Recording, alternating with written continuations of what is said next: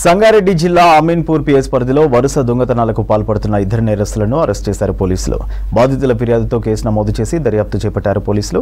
నిందితులు రవి సోమశేఖర్లను అదుపులోకి తీసుకుని తర్వాత రిమాండ్కు తరలించారు. నిందితుల నుంచి పది తులాల బంగారం విదేశీ కరెన్సీ బైక్ రికవరీ చేశామన్నారు పోలీసులు.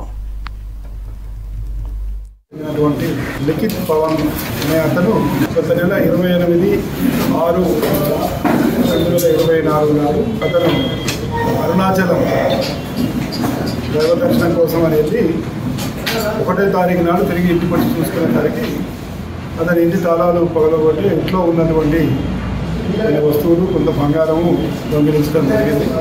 దానిపైన అమీన్పూర్ పోలీస్ స్టేషన్లో కేసు నమోదు చేసి ఇన్వెస్టిగేట్ చేస్తున్న క్రమంలో మేము ఈ మధ్యన సస్పెక్ట్ అందరినీ కూడా తిరిగి వెరిఫై చేస్తూ ఉన్నాం.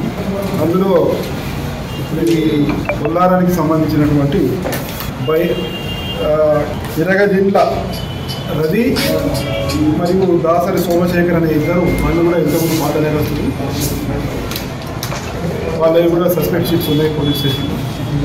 ఆ క్రమంలో వాళ్ళను అనుమానం మీద తీసుకొచ్చి ఇంట్రాగేషన్ చేస్తే ఈ అమీన్పూర్లో జరిగినటువంటి నేరంతో పాటు అంతకంటే ముందు కూడా అమీన్పూర్లో ఇంకొక మూడు నేరాలు జరిగాయి వాటిని ప్లస్ కొల్లారంలో జరిగిన రెండు నేరాలు మరియు దిండిగల్లో ఒక రెండు నేరాలు చేసినట్టు ఒప్పుకున్నారు.